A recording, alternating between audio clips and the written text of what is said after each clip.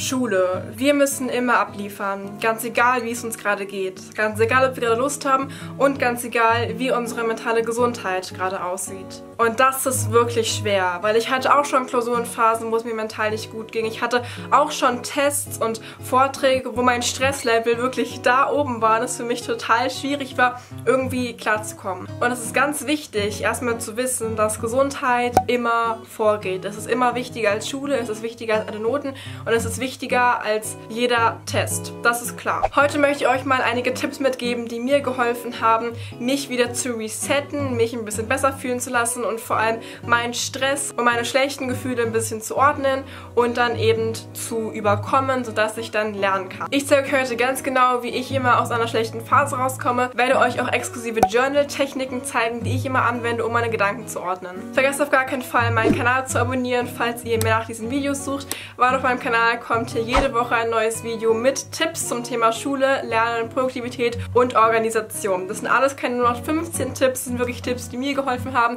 zu einem 1,0 Durchschnitt zu kommen und ich hoffe sehr, dass ihr auch dabei was mitnehmt. Viel Spaß erstmal beim heutigen Video. Wichtig dabei zu sagen ist auch, dass ich natürlich keine Therapeutin, keine Ärztin bin, ich bin keine professionelle Expertin hier auf dem Thema, ich teile nur meine eigenen Erfahrungen und falls ihr wirklich Probleme habt mit mentaler Gesundheit oder mit anderen psychischen Erkrankungen, bitte geht zu einem professionellen Menschen, der sich damit besser auskennt. Als allererstes versuche ich mein Gedankenchaos ein bisschen zu stoppen, weil ganz oft verlieren wir uns irgendwie in Gedanken, die alle nur Angst erzeugen und die uns gar nicht weiterhelfen. Ich versuche immer so ein bisschen Achtsamkeit reinzukriegen, um mich im Moment erstmal zu stoppen.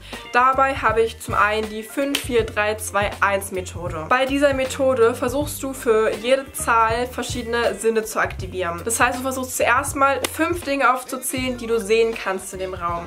Dann vier vier Dinge, die du fühlen kannst gerade. Drei Dinge, die du hören kannst. Zwei Dinge, die du riechen kannst. Und eine Sache, die du gerade schmeckst. Und so aktivierst du alle deine Sinne und platzierst da Achtsamkeit drauf und bist wieder im Moment, wenn wir das gerade gucken, wenn wir gerade gucken, okay, was sehe ich, was fühle ich, was höre ich, sind wir in dem Moment und können erstmal unsere Gedanken ein bisschen ordnen und vor allem diese Gedankenspirale erstmal stoppen, was ganz wichtig ist. Wenn ich das gemacht habe und erstmal wieder in dem Moment angekommen bin, fange ich an, erstmal wieder in den Flow zu kommen. Weil es geht eigentlich nicht, dass wir dann direkt anfangen zu lernen, uns von 0 auf 100 erstmal hinsetzen und dann direkt unsere ganze, was weiß ich, Hausarbeit schreiben oder so, wie auch immer. Ich ich versuche wirklich langsam in den Flow zu kommen und das mache ich zum einen mit Aufräumen.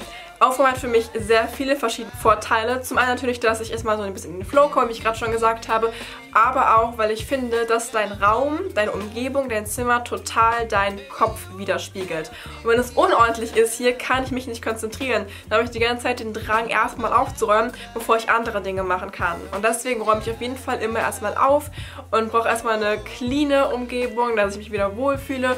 Und ich fühle mich gleich schon so ein bisschen ähm, accomplished, gleich schon so ein bisschen, dass ich was erledigt habe, dass ich was geschafft habe, dass ich weiß, okay, ich bin jetzt doch in der Lage, irgendwas zu machen.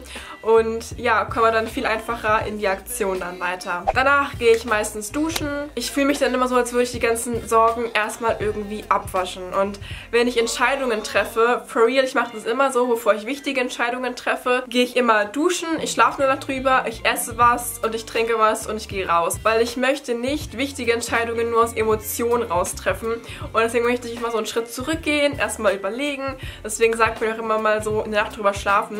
Bei mir ist es immer so, auch erstmal duschen gehen, weil ich finde, das reinigt voll meine Gedanken. Vielleicht es was Persönliches, vielleicht hilft es euch auch. Dann sind wir jetzt achtsam, haben unsere Umgebung aufgeräumt und fühlen uns gleich ein bisschen cleaner und besser.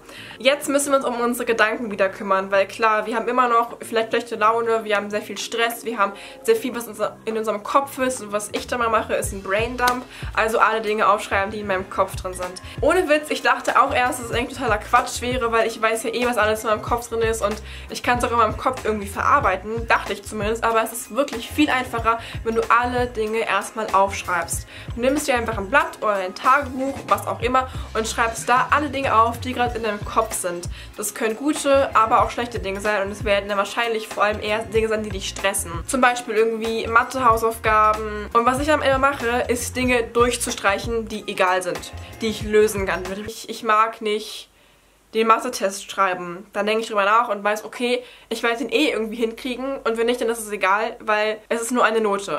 Und dann kann ich es durchstreichen, weil es ist im Endeffekt egal. Und weil ich dann alles durchstreiche, was egal ist oder was nicht so relevant ist oder was eine Lösung hat, bleiben im Endeffekt nur ganz, ganz wenige, wahrscheinlich sogar eher gar keine Dinge übrig.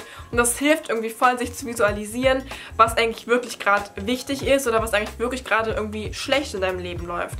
Es wird auf jeden Fall Dinge geben, die du nicht ändern kannst. Das ist klar, das gibt es eigentlich bei jedem Menschen. Aber so relativierst du das alles ein bisschen und weißt, nicht alles ist schlecht gerade. Dann habe ich verschiedene Journal-Techniken, also verschiedene Methoden, wie ich Tagebuch schreibe, um mich ein bisschen ja, runterzufahren und alles so ein bisschen zu relativieren und zu verbessern. Zuerst mache ich mir eine Tabelle mit zwei Spalten und links schreibe ich alle Dinge, vielleicht ist es rechts, ne? Dann links schreibe, oder? Ist es gespiegelt? Ich weiß gar nicht. Auf jeden Fall auf die eine Seite schreibe ich die Dinge auf, die meine Probleme sind, über die ich mir gerade Sorgen mache. Also das ist eher so eine Journal-Technik, wenn man sich Sorgen über irgendwas macht. Und dann schreibe ich auf die andere Seite, warum es Quatsch ist. Warum ich mir darüber gar keine Sorgen machen muss. Und no joke, man findet das eigentlich fast für alle Dinge, über die man sich Sorgen macht. Ich weiß noch, das erste Mal, als ich das gemacht habe, war das, weil ich Nachhilfe genommen habe bei einer äh, Sprachenlehrerin. Das habe ich freiwillig gemacht, also neben der Schule, weil ich einfach noch eine weitere Sprache lernen wollte.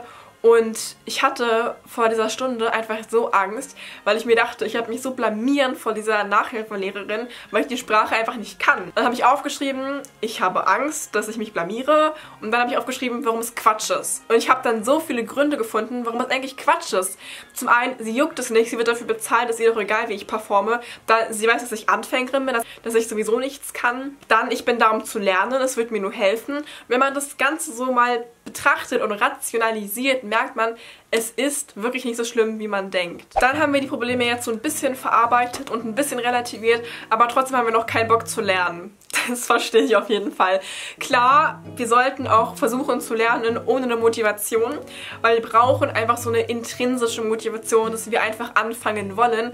Und die kriege ich meistens dadurch, beziehungsweise muss man sich länger aufbauen, ähm, durch Ziele. Das heißt, ich gucke immer auf mein Vision Board und ja, weiß dann, was meine Ziele im Leben sind, was ich erreichen möchte dieses Jahr, in den nächsten Jahren, was generell, was ich für eine Person sein möchte. Und das hilft mir so ein bisschen, wieder meine Vision vom Kopf, also im Kopf zu haben und dann möchte ich auch eher lernen. Deswegen sollte man sich dann eher fragen, warum möchte ich jetzt eigentlich lernen, warum ist es wichtig und dann mit dem nächsten kleinsten Schritt anzufangen, den du gehen kannst. Falls du auch ein Vision Board machen möchtest, kann ich sehr dieses Video hier empfehlen, habe ich dir alles genau erklärt und dich mitgenommen bei meinem Vision Board Prozess, weil, weil ich habe gelernt über, über die letzten Jahre, dass ich meine Vision Boards sehr lange falsch gemacht habe und ich dieses Jahr aber eine Methode angewendet habe, die mir sehr geholfen hat, dass ich dieses Jahr ein wirklich effektives und gutes Vision Board habe. Guck's dir gerne an. Viel Spaß dabei und hoffentlich bis zum nächsten Mal. Tschüss!